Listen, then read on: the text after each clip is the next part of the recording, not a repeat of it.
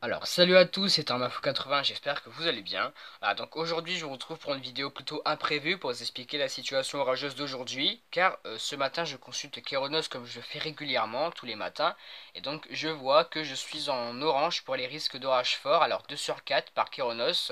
C'est la première fois de l'année que je me fous en 2 sur 4 parce que la plupart des fois où il y avait de l'orage, c'était plutôt euh, en 1 sur 4, donc en jaune. Mais voilà, 2 sur 4, voilà, ça promet de belles choses certainement. Et donc voilà, donc ce risque d'orage, il va s'étendre en fait du Languedoc-Roussillon jusqu'à la Champagne-Ardenne, en passant par la Bourgogne, la Franche-Comté, l'Alsace, la Lorraine, mais surtout la Picardie et euh, le Nord-Pas-de-Calais, avec de probables orages forts attendus là-bas.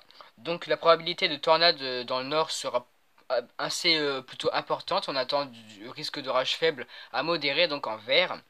Dans l'est, ce sera un peu moins important, mais dans le sud aussi, dans le sud du, euh, de Languedoc-Roussillon, on peut aussi s'attendre à quelques euh, probabilités de tornade. Vous, vous inquiétez pas, ce ne sera pas du F5, hein, je vous rassure tout de suite. Ce sera probablement du, euh, des, des tubas, voire très localement du F0. Mais bon voilà, donc un front froid très actif va, va s'étirer aujourd'hui de, de l'ouest de la France jusqu'à l'est en étant de plus en plus actif avec une température au sol qui va alimenter le front afin qu'il soit de plus en plus actif. Donc le dynamisme sera très important.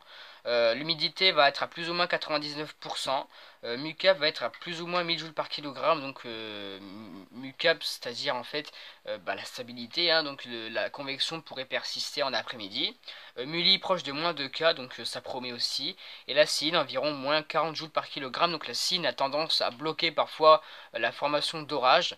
Mais pas cette fois-ci parce que bon, Enfin, peut-être un petit peu un chouïa quand même parce qu'on est à moins 40 euh, joules par kilogramme d'air. Mais bon, normalement ça doit suffire. Donc voilà, j'espère que vous aurez aimé cette vidéo. C'était rapide, je sais.